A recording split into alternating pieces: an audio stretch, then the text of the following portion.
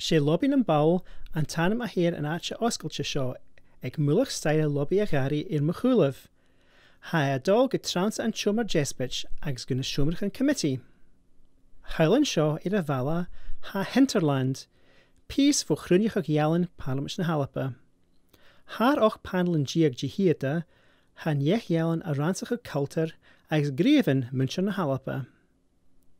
Éar mochulah ha buis taismaní sy'n Ir a bhéil sin gorych i'r ym y gorit byn y cúspar.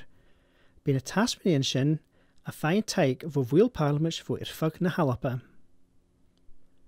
Go hátas cún an dos an dúbalte ar i'r mwlaif chlí ha clach chhlach Fa sio mae'r mar fás hal yn y parlamys far yn beg siawn fallams na halapa coniuchag bhó siach i'r diag trí san go seaach i'r diag sy'n siach. Nuair a ha opera dhéanamh ar an tócalach sin, ha na clachan na hors mar chainichan go tai arnastan, jéir dennéin, far an jach suúach an gari a dhéanamh lua.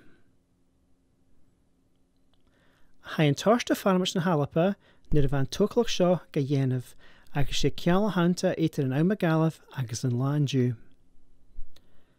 Hat an páist chosánnatil dí lobbyn an bail agus go ré lobby arnastan a fesig mor mór an daine